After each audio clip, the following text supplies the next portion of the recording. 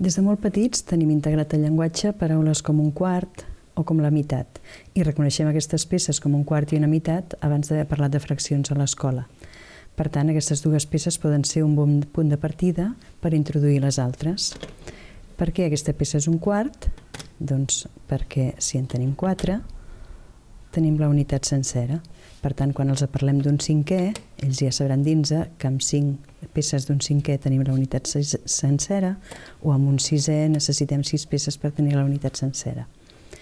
Una altra cosa que també els és lògica és pensar que tres quarts són tres peces d'un quart. Per tant, tres cinquens seran tres peces d'un cinquè o dos vuitens seran dos peces d'un vuitè. Això ens serveix per introduir o per, per deixar clar eh, quina és la intenció de la, para, de la paraula numerador i denominador en una fracció. El numerador és el que ens diu quantes peces tenim. I si tenim tres vuitens, estem parlant de que hi ha tres peces. I si tenim tres sisens, són tres peces, però d'aquest tipus. En canvi, el denominador és el que ens dona nom. I això són quarts, això són vuitens, això són sisens. Està bé veure d'on venen les paraules perquè ens és més fàcil explicar-los després quin sentit tenen i fer-les servir en propietat. El cercle de fraccions és una molt bona eina perquè té implícita la unitat. Quan nosaltres parlem d'un quart, de seguida visualitzem tota la unitat i no hem de fer allò de dibuixar-ne 5 i pintar-ne 3. El que passa és que té la dificultat de que els costa dibuixar-la.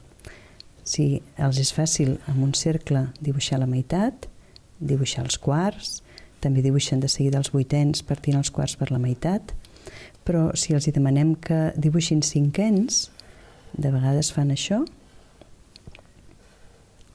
i quan han vist que els hi falta una, en parteixen una per la meitat i dirien que aquestes peces són cinquens.